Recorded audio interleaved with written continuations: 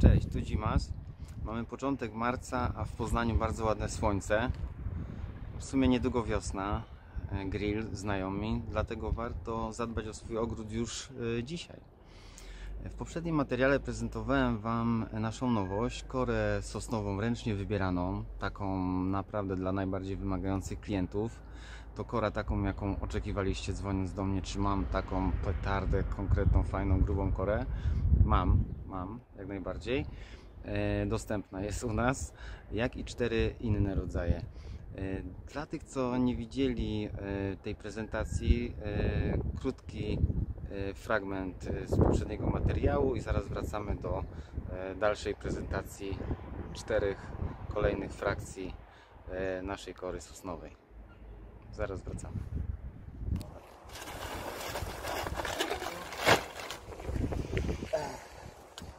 No to zobaczmy, co się tu dzieje.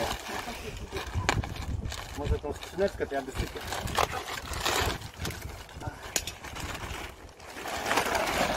No piękna no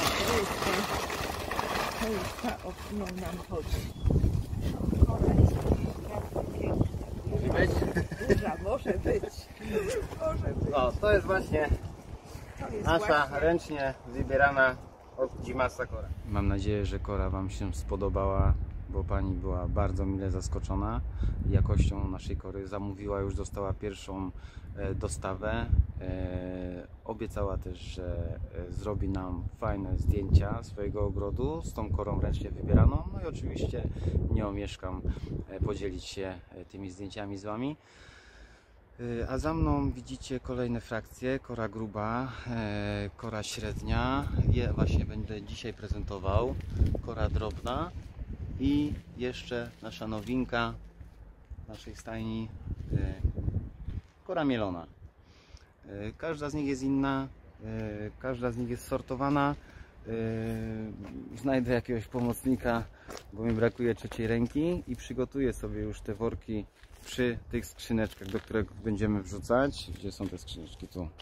Skrzyneczki są przygotowane, Mm, a ja e, przygotuję worki, żeby nie tracić czasu i zaraz też do Was wracam. Cześć.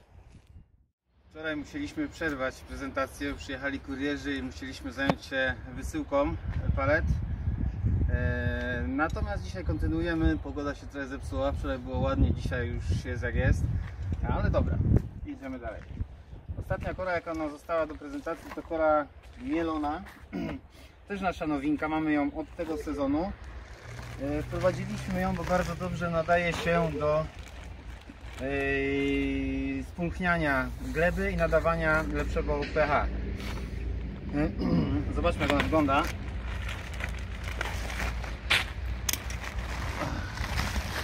Ona jest drobniutka, granulacja do maksymalnie 1 cm.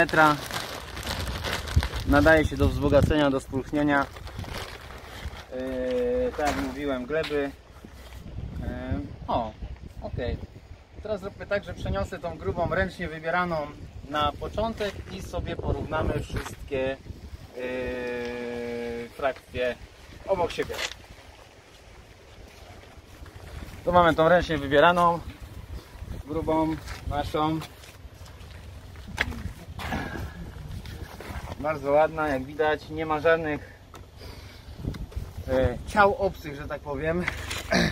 W porównaniu do tej gruba, podwójnie sortowana, e, staramy się, aby było jak najmniej łyków, żeby była jak najlepszej jakości, ponieważ nasza kora ma certyfikaty jakości nadane przez Polskie Centrum Badań i Certyfikacji laboratoryjnie. Yy, dobra, tak wygląda kora średnia w stosunku do grubej, sortowanej, jak i ręcznie wybieranej jest mniejsza. Tutaj mamy między 10 a 30 cm, takie są płaty, proszę. Ją się układa w ogrodach, nie wysypuje, tylko układa, bo to jest kora dekoracyjna.